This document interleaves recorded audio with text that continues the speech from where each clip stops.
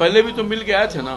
याद है कि नहीं? शुरुआती दौर में ये जो विपक्ष के जो नेतृत्व करने वाला कांग्रेस पार्टी के नेता हैं, दो मिनट से ज़्यादा समय नहीं मिला था। बिहार के मुख्यमंत्री नीतीश कुमार विपक्षी एकता को एकजुट करने के लिए आज दिल्ली जा रहे हैं। जैसे ही मुख्यमंत्री नीतीश कुमार के दिल्ली जाने की सूचना सामने आई, विपक्ष पूरी तरह से हमलावर है।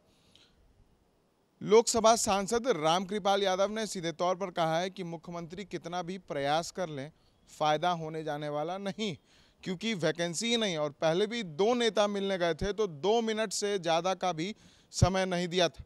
और इस बार भी कुछ ऐसा ही होने वाला है। क्या कह रहे हैं? पाटलिपुत्रा के सांसद रामकृपाल यादव, मुख्यमंत्री नीतीश कुमार के दिल्ली जाने को लेकर पहले आपको चिराग पासवान जी ने बयान दिया है। आप लोगों ने उसको चलाया भी होगा, मैंने देखा भी है। इसको राजनीति से कैसे जोड़ा जा सकता है?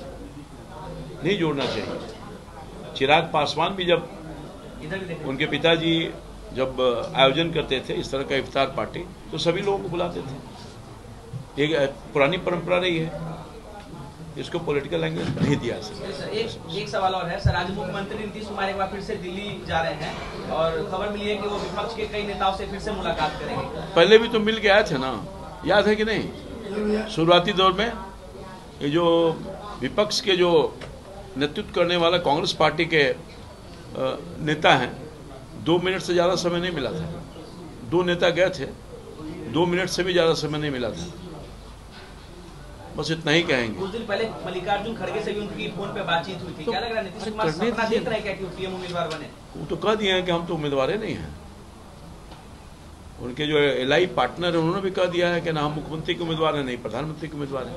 वो नीतीश कुमार जी ने पचासों बार कह दिए हैं कि हम उम्मीदवार नहीं हैं। अब वैकेंसी नहीं है तो ख्वाब देख, कोई ख्वाब देखते रहे। वैकेंसी नहीं है 2024 में पक्का भारत की जनता ने तय कर रखा है 140 करोड़ जनता, कि इस बार भी 2024 में भी, न सिर्फ़ 2019 से भी ज़्यादा अधिक मतों से अधिक संख्या में सीट दे करके माननीय यशस्वी प्रधानमंत्री नरेंद्र मोदी को बैठाएगा ही।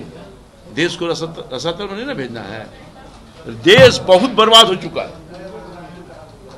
देश को भारी क्षति उठानी पड़ी है।